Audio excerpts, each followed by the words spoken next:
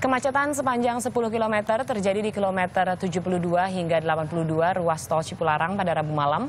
Ini terjadi karena antrean kendaraan besar yang dialihkan ke gerbang tol Jatiluhur. Untuk mengurai kemacetan, petugas pun berlakukan kontraflow untuk kendaraan kecil dari arah Bandung.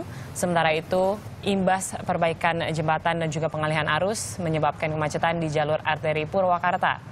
Ini terjadi karena pertemuan arus kendaraan dari jalur arteri dan juga gerbang tol Jatiluhur.